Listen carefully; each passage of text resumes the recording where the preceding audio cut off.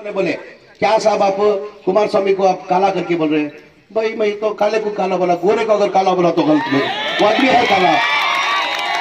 काले, अभी, वो गोरा है कि मैं काला बोला तो मेरी गलत है। काले को काला बोला। अब अल्लाह मियाँ, मेरे को गिड्डा बनाया है। मैं उनसे बोल सकता हूँ। गिड्डे को गिड्डा ही बोलना ना। अब मेरे बहुत से जने बोलते, कुल्ला, मैं क्या करूँ? कुदरत बनाई मेरे को। अभी उस कुमार स्वामी को कुदरती काला बनाया। वो काला डिबेट के लिए आने को तैयार नहीं है। तो मेरी भाइयों से, मेरी आवाम से एक आजीजाना गुजारिश उनकी एक साजिश है, एक चाल है। खाली ये वोट डिबेट करने के वास्ते जद्दोजहद कोशिश कर रही है, ये वोट जितना आप समझो, एक जज्बे से, एक जोश से। क्यों? खादरी साहब, बहुत अच्छे आदमी है।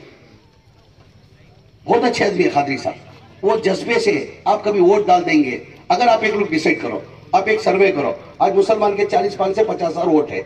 अगर पूरे पचास हज़ार वोट एक होके कहते परसेंटेज कितना होता है? पचास से साठ परसेंट होता है। तो पच्चीस हज़ार वोट हो गया समझो। फिफ्टी परसेंट बोले तो पच्चीस हो गया।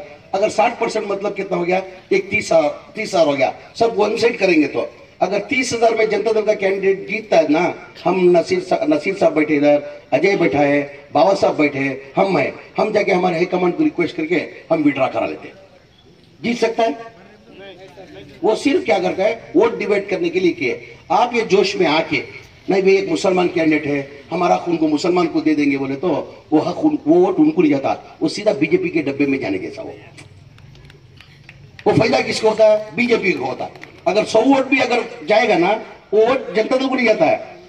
एम आई एम को नहीं जाता है। वो वोट बाकायदा बीजेपी को जाता है। उससे फ़ायदा क्या है? आज बी नारायण साहब जो खिदमत की है, आप लोग अच्छी तरह जानते मेरे से अच्छी तरह आप लोग जानते हैं तो मेरी आवाम से एक आजीजाना गुजारिश। और देश में किस हालत से आज गुजर रहे आप लोग सब जानते हैं। नसीर साहब बताते करके सोचा नसीर साहब बताए नहीं। आज बीजेपी हुकूमत आने के बाद 2014 के अंदर अवाम एक भरोसा कर कर 2014 के अंदर जिधर भी नरेंद्र मोदी जाते थे, पूरी हिंदुस्त- हिंदुस्तान की बात करो मैं, जिधर भी जाते थे, भाई और बहनों अच्छा दिन आएगा, देश का अच्छा होएगा, करके सब जगह जाके भाषण करते थे। तो अवाम क्या कर दी, चलो भाई साठ साल हमने कांग्रेस हुकूमत को देखा, एक बार ये आदमी रेलवे स्टेशन में चाय बेचने वाला गरीबी के बारे में जानता है, गरीबी, गरीब गरीब का भलाई हो जाएगा। करके बोल के सोच के क्या करे 2014 में उनको प्रधानमंत्री बना दिए। देश का अच्छा हुआ? नहीं। गलत है वो। देश का अच्छा हुआ कि नहीं हुआ? नरेंद्र मोदी होने के बाद। अच्छा हुआ, मगर देश की आवाम का अच्छा नहीं हुआ। ये चाय बेचने वाला पंद्रह लाख का कोट पहनने लगा, उसका अच्छा हुआ। देश की आवाम का अच्छा नहीं हुआ।